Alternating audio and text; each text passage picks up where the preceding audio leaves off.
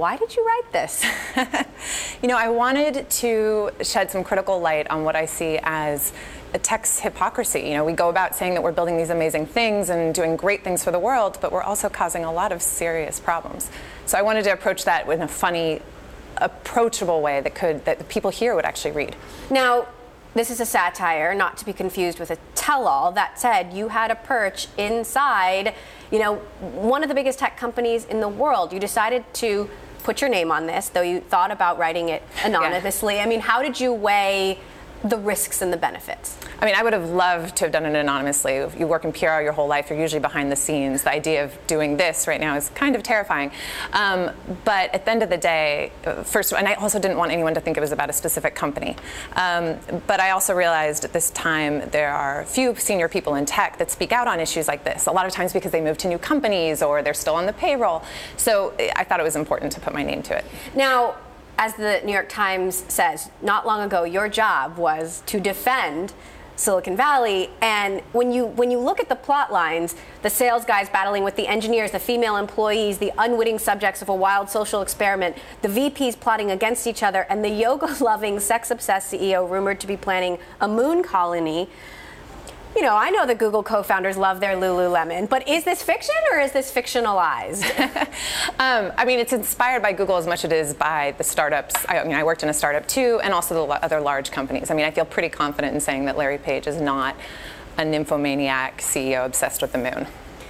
So, you know, talk to me about some of the themes here because you're fairly prescient. I mean, there's sort of like a Me Too theme. You've got the misogynistic CEO, and you've got the woman who buys into the company entirely. What, how should we interpret that, given the, the diversity problems in right. Silicon Valley today? I mean, I um, yeah, I thought a lot about that. I went and eliminated pretty much any women or people of color, for that matter, from this book because I wanted to make a point, right, that that we are dramatically underrepresented and even when we are there, we often aren't given the same opportunities. And so the one female character in the book um, is a female receptionist with a PhD uh, who basically saves the whole company with her invention. But by the end of the book, and I'm not giving much away here, she's back to being a receptionist. I can't have you here without asking you about some of the challenges that Google is facing now. Number one, trying to get back into China. The public Many people don't seem happy with this. Some employees don't seem happy with this. The US government doesn't seem happy with this. Is it the right call? You know, I'm really torn on the China issue. On the one hand, I believe in moral imperatives. I think what Google did was really admirable. I felt really proud at the time. On the other hand, I think it's a fair question to ask what tangible good did it do other than making us feel really good? In that censorship is worse in China, information access is worse in China. There's an argument to be made that more search competition, whether it's by Google or someone else, could actually, and potentially a company that might do less censorship, could actually be a really good thing for Chinese users. So I'm willing to give them the benefit of the doubt of seeing actually what they want to do and how they would plan to build in safeguards for Chinese users. I mean, I think I think the devil's really in the details. Google did not take an opportunity to testify before Congress. Now they are uh, sending Sundar Pichai. If you were working at Google, you would have been part of that decision. Was that a mistake? I mean, I wasn't there, so I don't know what the thought process was. Uh, but I think you've kind of answered the question in the sense that they didn't go, and now they have to go anyway. So, you know. So when you say at times you felt you had to defend the indefensible, what do you think is indefensible? Well, I think across the industry, there's just a real problem that we have of uh, kind of black and white thinking, that we lead so much with data all the time, which I think lends itself to a certain level of moral abstractionism. That you say, oh, well, you know, with 2 billion users, maybe a small percentage of that is bad actors.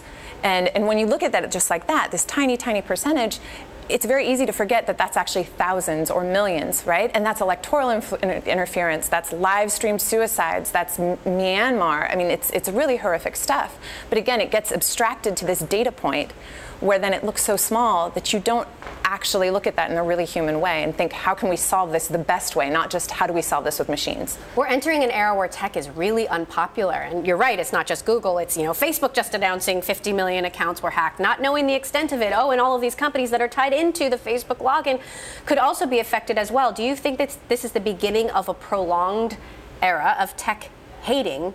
And if you were on the inside of Google, how would you be handling it? Well, I think in terms of the, the question around what the, the cycle that we're in, absolutely. You know, I don't think the Valley has enough interaction with the outside world. The they instead they build what they want and impose it on the outside world, and the outside world is increasingly getting angry about that power dynamic. Um, so I think that I think it, it's going to come to a head in some way.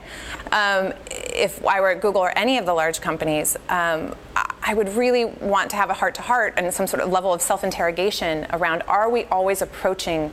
First of all, are we always asking ourselves at the very start? what the potential unintended consequences is. Like if you build a platform for free speech, you're building a platform for free speech. Anyone can say anything, right? It's not just all roses and wonderful things. And, and so what, what does that mean? And second, I think the other thing I would do is is say our you know the starting point in so many of these companies whenever a problem arises is let's solve it with machines or you tell everyone we're going to solve it with AI. Well the truth is AI may solve these problems one day but it doesn't do a great job today. And so just throwing your hands up in front of regulators and saying well you know the machines will get there at some point it's a pretty unsatisfactory answer. Why medium and what does that say about the traditional publishing industry? I mean I thought it was pretty appropriate that a book about tech would be on a tech platform. I loved that it was free. It's a free book for anyone. You can use it on your, you can read it on your e-reader. I loved that it was globally accessible immediately, and there was none of the traditional publishing turnaround times, um, which just made it a pretty exciting opportunity.